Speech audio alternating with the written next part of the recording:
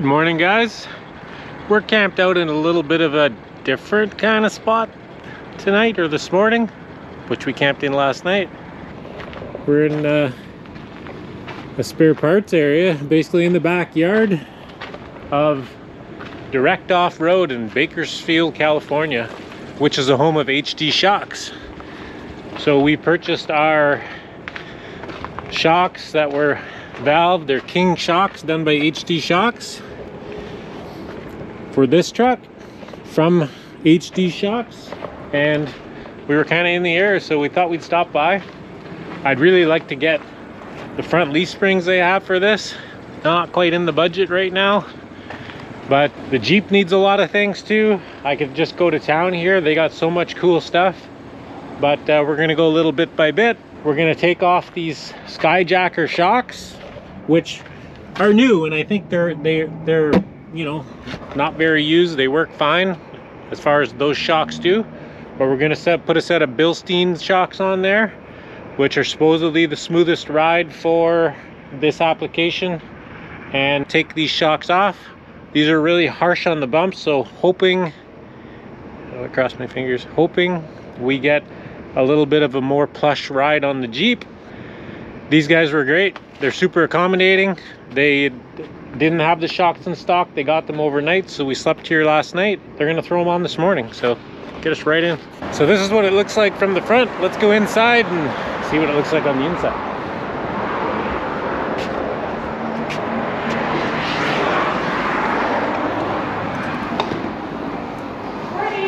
Good morning. Here's the key. Perfect. I'll uh, get it going for you.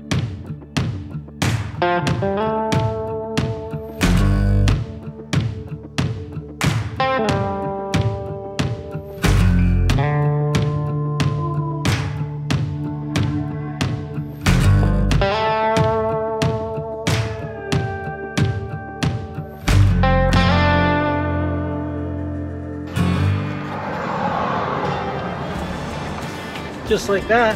I didn't even see them bring it in. We got shiny new Bilstein shocks.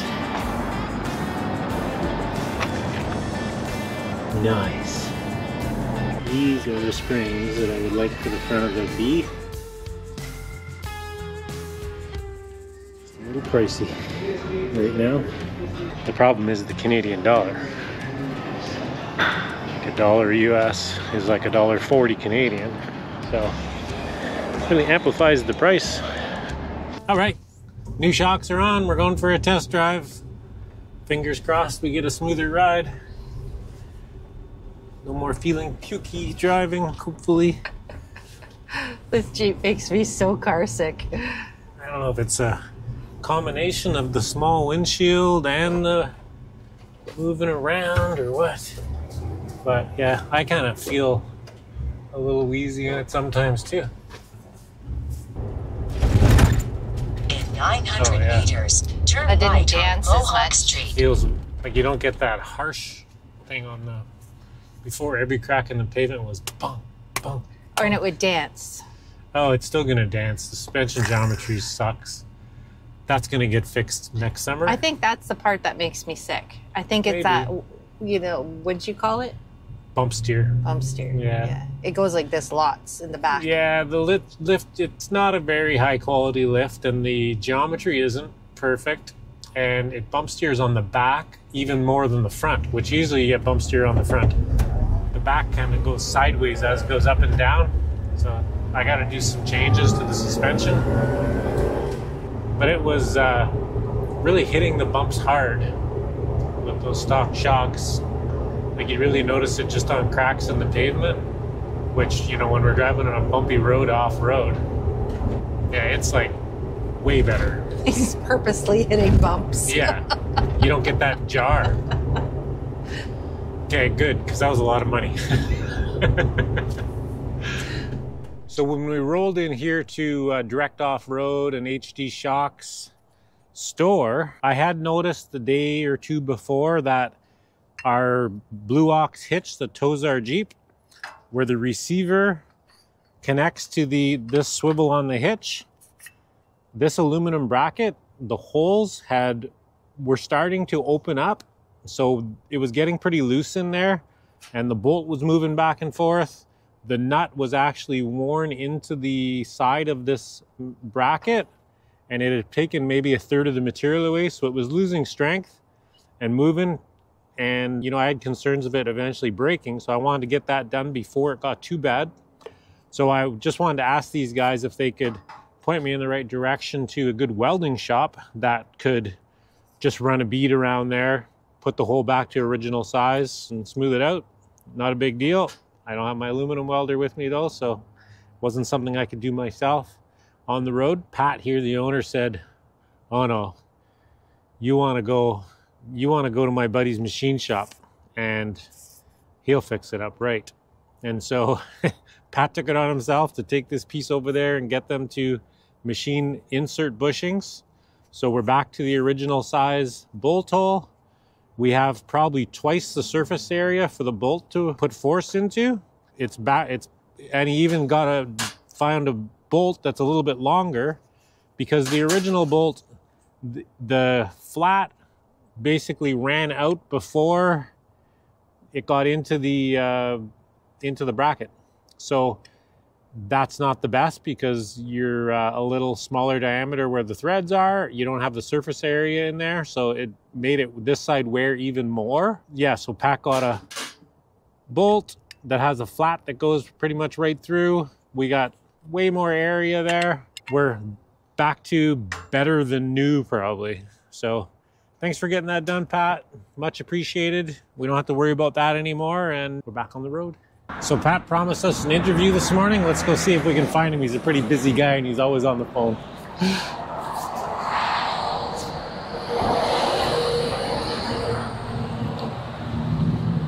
Morning, Daniel. Morning, good morning. Is Pat uh, around somewhere? He's not in the back there. He's, uh, let me go get home for you. So we're here at Direct Off Road and HD Shocks. Pat, the owner, agreed to give us an interview. I first ran across Pat at the Quartzsite RV show in uh, Quartzsite, Arizona last year, and I came in asking about shock applications. Like he had a pretty nice booth there with some cool shocks on display, and I thought, well, you never know, you might know something about putting shocks on a Kodiak to make it ride better. He knew a lot about it actually, and he was very open to sharing his knowledge. And it seems like now that I'm here at the Direct Off Road and HD Shock store, everybody's the same. They're all here to help you and share their information and just get you where you need to be. So we got a set of shocks shipped to us from Pat in the summer to put on our Kodiak, which made a huge improvement. And now that we're coming down this way, we stopped by to get some shocks on our Jeep too from the Direct Off Road guys here. Pat, maybe tell us a little bit about at Direct Off Road, HD Shocks, how it all came to be, and uh, what's going on. Well, I guess the the the short version is is my dad had a shop since the late '60s, so I grew up in the industry. So that's enabled us to get to this level of direct off road. And over the years, you just keep learning and educating yourself with experience, and then next thing you know, we just develop, I think, direct off road as an ability to not only just sell parts to people, but actually understand what parts they truly need for their application.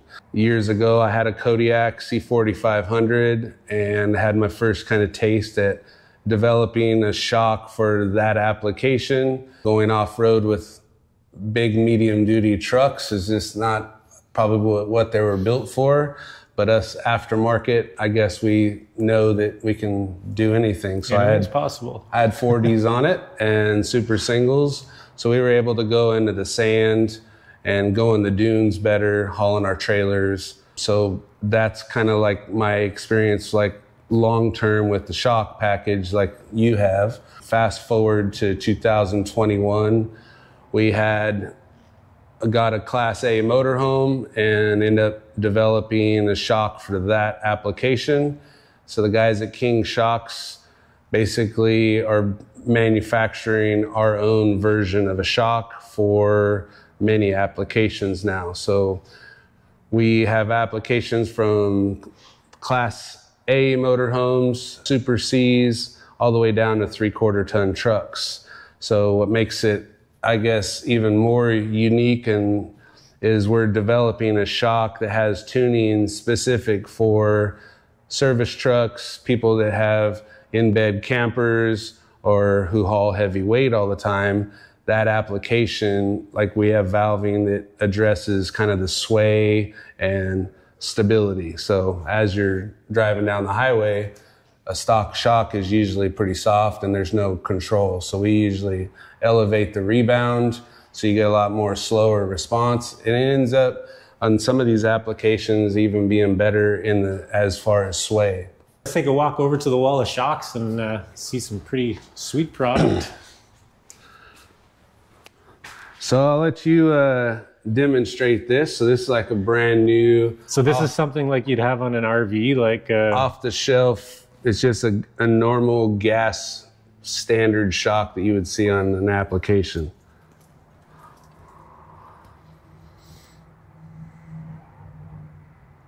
takes a long time.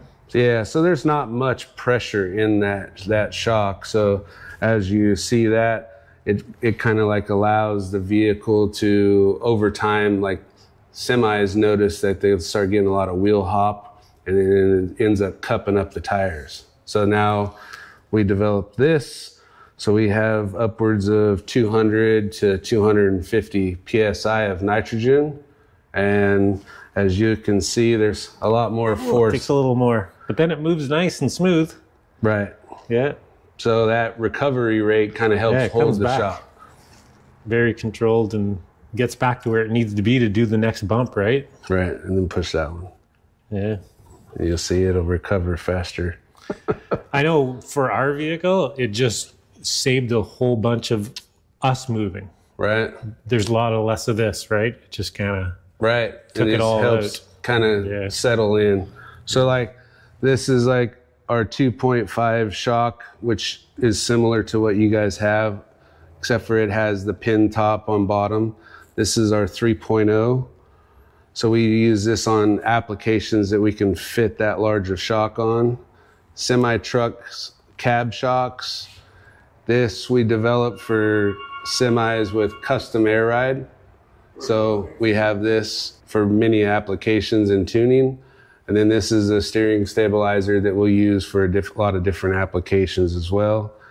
And this is kind of like the bigger version of your shock, which is our 3.0. And then this one is like for our 25 and 3500 Chevys. And then this shock kind of application will fit everything from like your basic three quarter ton truck all the way up to semis with and we have all these different in configurations to fit all these different applications i think now we have over like 85 part numbers and it keeps growing like every week so so many vehicles to make better. Right. Yeah. like even transportation companies with the their school buses, like we have shocks on mining vehicles, and we even have shocks on vehicles like at Universal Studios, the trolleys and stuff. So they're stabilizing pretty much everything that we could put a shock on. Well, and it seems like an expensive thing to do to buy shocks that are a lot more money than a generic shock. Right. But if you think about the protection you're giving your vehicle, because you're not doing all that, you know, you're absorbing shock, Right. especially in an RV where you have all this cabinetry and stuff, and those screws are just coming loose all the time if you're not absorbing that shock. over i would say the course of long term the wear and tear that a vehicle saves you know with our shocks on there has to pay pay the consumer back would uh, dividends even with tire wear so we have some semis on the road right now with over 200 300000 miles on the same shock which a standard shock they maybe get 30 to 60000 miles out of. So tire wear for the semi truck owners is a big thing and obviously driver comfort. People in and customers in like in your space it's more about the control and then when you go off road you kind of get that stability because when you're going in different off rough terrain you get a lot of that side to side movement and i would say our shocks help reduce that greatly and even on turns and approaches you'll probably see a lot less body roll as well One of those little ones. I was just gonna say- seat. Marianne's gonna spy this little one Oh, and want it on her air ride seat because hers moves more than mine. I think her shock's on the way out, Right. so she's going. So we'll have to do an adaptation of uh, a mini shock for. Takes me. There you go. it would look pretty cool sitting there on the seat too. Right.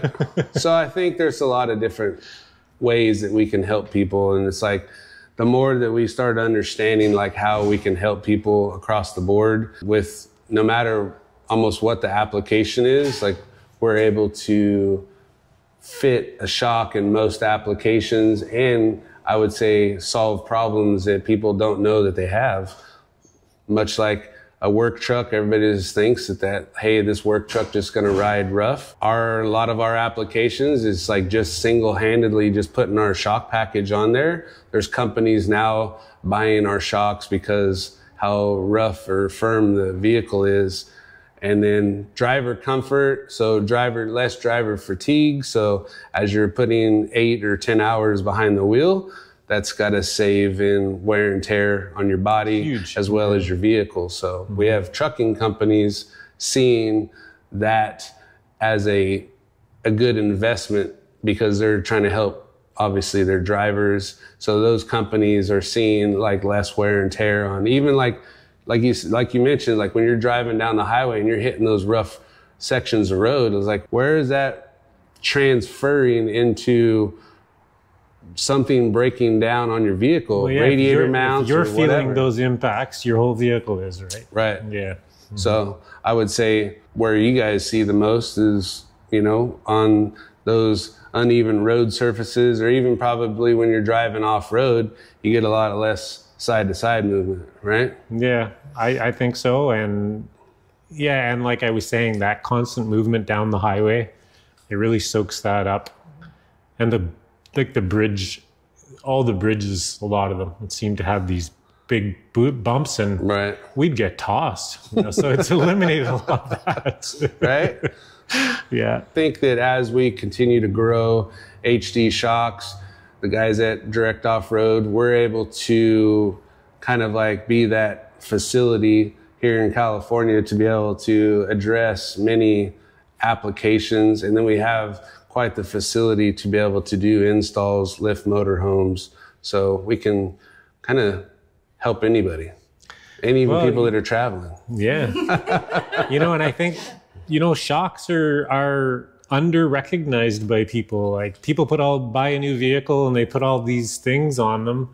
And my advice is always spend your money on shocks first. Right. And then do all that other stuff. Because shocks make such a difference all around. Yeah. I say it's the best first place to start. If you have control or handling issues with your vehicle or application, at least try to look at the shocks, no matter what it is car, truck, or semi. That's overlooked, like you much said. You know, it's just a hundred dollar shock isn't going to do what a five hundred dollar shock does, and it's not just five hundred dollars because it looks better. It's a rebuildable shock. So that's the other thing that's nice about our shocks are is as you get to the level of if a shock decides to start leaking, O-ring or something goes bad, we can address it and rebuild it. So a lot of people like will hold on to a factory shock or I have some customers that are like, hey, I don't want to drive my truck with the factory shocks anymore. So get me another set of your shocks. And then when the time comes and I want to, you know, rebuild them, I'll have an extra set of, you know, it's kind of like much like air filters that are serviceable. Some people have two so they can rotate them out, you know, so they don't have to wait for it to dry or whatever. So I think it goes across the board. What kind of a service? Like, is there a generic service interval that you go by for shocks? I know, like, with my experience in the snowmobile industry, is you know you want to rebuild your shocks every year or two, really, because you're in harsh conditions and freezing and so on. And most people don't ever do it, and they wait too long. They get moisture in the shock, it rusts the insides, and it's garbage. Right. So, like, is there a time, mileage wise or age wise, that you think you should send a shock out to get you to Typically to in the off-road world, it's like guys that are let's say racing the Baja 1000. They're rebuilding their shock every race. ev- every race. so it's it's not typical drivability. Typical, let's say coilover shock that King may have. You, it just it really goes down to how you're using it. So if you're just driving on the highway, which 90% of our shocks are, I would say it's until that shock starts leaking, then the serviceability of it. Like right now, I have a guy that's pushing the limit. So he has 300,000 miles on the same shock that's still on the road. So that is almost unheard of in this day and age. But the guys and we've developed at King Shocks a new oil formulation to withstand higher heat. And so it's that longevity. And because these shocks are and have an IFP, which is the internal floating piston, that nitrogen pressure is holding that shock pressure, the oil. So we don't see a lot of aeration in the oil. So that keeps the oil cleaner.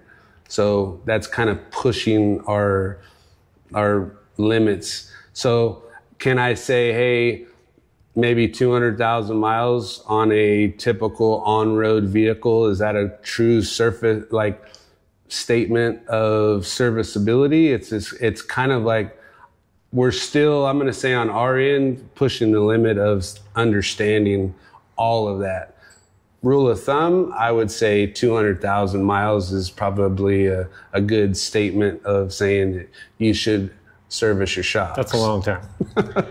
yeah, and like you say, it's not like you know in the in the racing industry where you're hitting the full travel of that shock multiple times every right second. most you know where would the, the failures come from overheating. Most most I would say most vehicles travel maybe four inches from compression to rebound to extension on a, a normal driving like application on the street.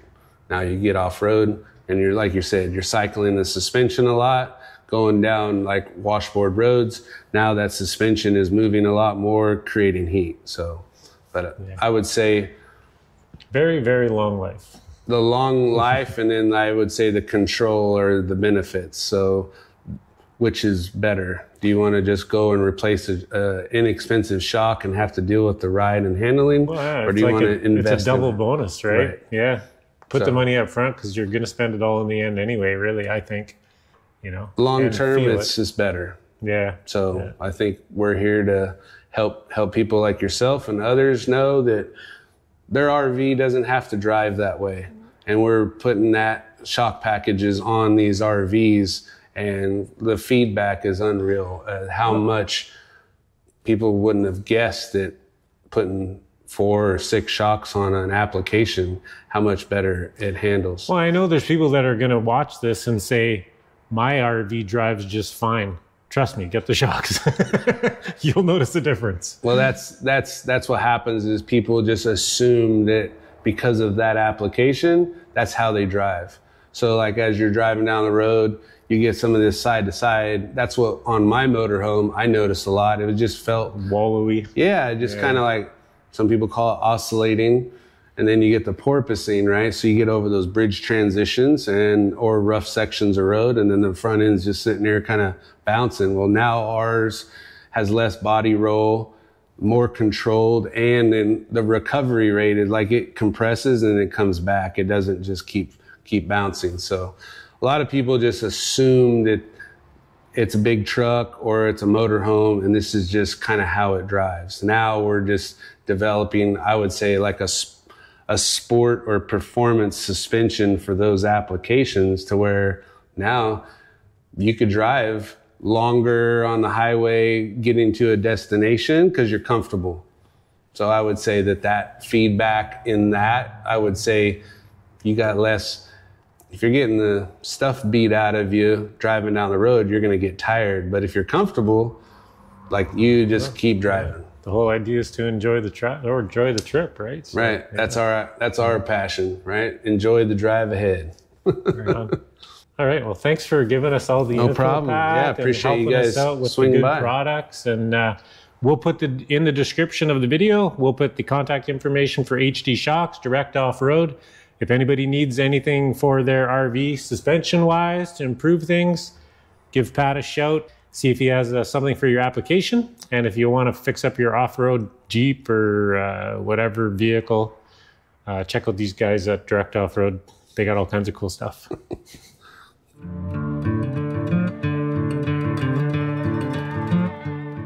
Those shocks are awesome. Oh, I purposely drove over big rocks and through whoops and things so like it's that. and better than it was. Oh. God, like you can't even compare it. Awesome. yeah. No, it's Thanks, like Direct Off Road. yeah, Good advice. that was like wicked. Yeah, that was really good. Right on. Let's do it again. We left our campsite and drove about a mile, and I just realized our GoPro's normally right here, and it's not there. And I had it before we left. Not good. I think I set it on the Jeep. Oh man, it's still there. We drove about a mile down this rocky road. I guess those new Bilstein shocks that uh, direct off road installed work good. Sweet. I was expecting to have to drive back a mile with the Jeep and find a ran over camera.